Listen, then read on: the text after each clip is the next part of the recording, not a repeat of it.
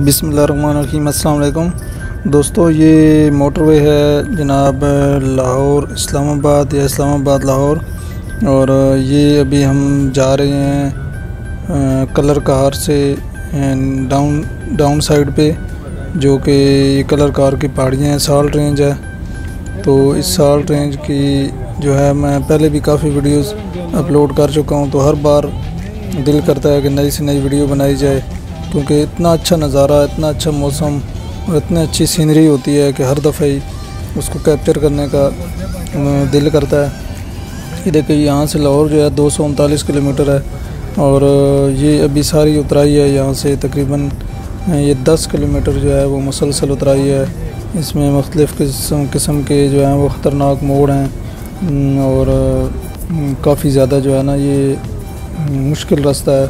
अगर पहली दफ़ा बंदा आ रहा हो तो इस बहुत एहतियात के साथ जो है यहाँ पे चलना पड़ता है। ये देखें, ये मुसलसल उतराई है यहाँ पे स्पीड लिमिट जो है वो बड़ी गाड़ियों की 30 किलोमीटर फ़ी घंटा और छोटी गाड़ियों की, यानी कारों वगैरह की 40 किलोमीटर फ़ी घंटा हद मुकर की गई है।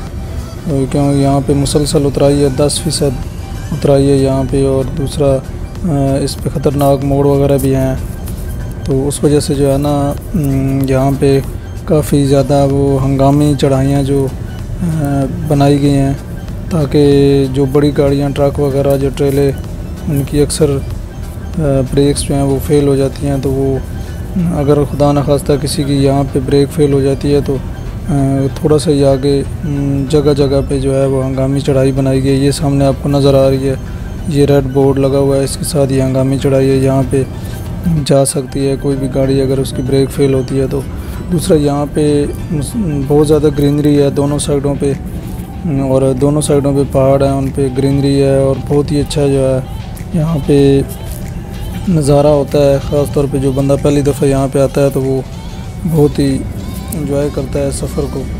ये देखें, यहाँ पे ये फिर सामने ये हंगामी चढ़ाई नज़र आ रही है। ये सारी बड़ी गाड़ियों के लिए हैं ताकि बड़ी गाड़ियाँ अगर खुदा न खासा ब्रेक्स फेल हो जाएँ तो वो यहाँ पे चढ़ जाएँ। और ये देखें साइडों पे जो है वो ये टायर लगाए गए हैं ताकि अगर मोड़ काटते वक्त कोई गाड़ी हम्म, वो स्लाइड फिसल जाती है तो वो फिर इसके साथ जाकर टकराए और उसका कम से कम नुकसान हो। यहाँ पे हम्म, जो लोग ओवर स्पीडिंग करते हैं तो उस वजह से काफ़ी ज़्यादा यहाँ पे एक्सीडेंट्स भी होते हैं लेकिन यहाँ पे एहतियात बहुत ज़रूरी है।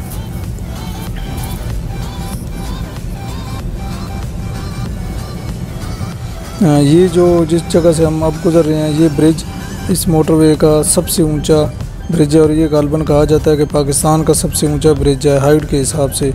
नीचे गहरी जगह है, गहरी खाई है, नदी नाले गुज़र रहे हैं तो ये ऊपर जो है वो बनाया गया है। दूसरी साइड से अगर आ रहे हो तो ये नज़र आता है। ये देखें कितना ही अच्छा खूबसूरत नज़ारा। देखें सामने पहाड़ हैं, यहाँ पे एक तो खुली सड़क है मोटरवे तीन तीन लेन हैं दोनों साइडों पे। तो स्पीड जो है वो ख़ुद ब खुद ही गाड़ी पकड़ लेती है, लेकिन एहतियात इसमें बहुत ज़रूरी है।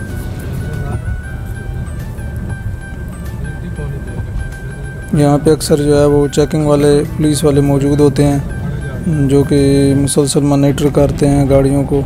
ये देखें पहाड़ी के ऊपर जो है वो किस कदर खूबसूरत दरख्त और किस कदर खूबसूरत ये हमारा इलाका है साल्ट रेंज का।